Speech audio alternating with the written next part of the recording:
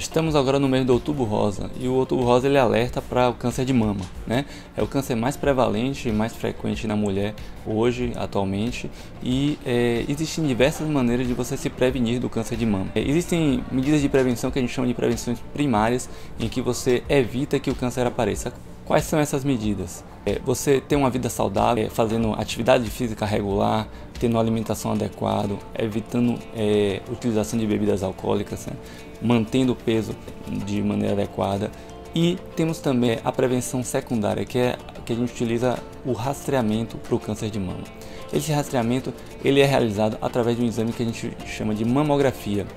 É um exame que é como se fosse um raio-x da mama, em que são identificadas alterações no parênquima mamário, no tecido mamário, em que pode diagnosticar um câncer de mama.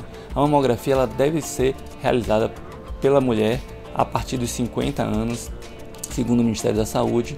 Essa mamografia, o ideal é que ela seja feita anualmente, mas não pode deixar passar de dois anos. E o objetivo é detectar um tumor mais precoce e diminuir a chance das mulheres morrerem de câncer de mama. O câncer de mama é um câncer prevenível, é um câncer tratável com altas taxas de cura é, quando detectado precocemente e com método de rastreamento que é disponível à maior parte da população. É importante a mulher então se cuidar, ter uma vida saudável e fazer o seu rastreamento.